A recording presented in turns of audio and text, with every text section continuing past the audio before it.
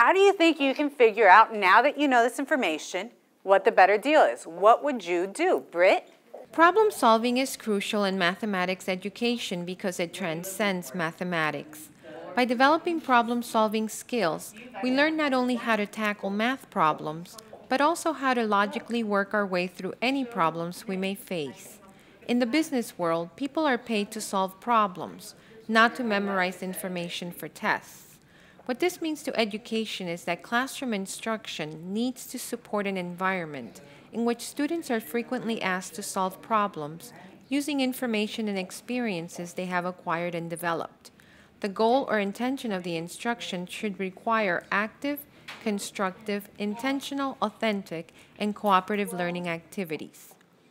One foundational aspect of successful mastery of mathematics is to be able to problem solve in a variety of situations.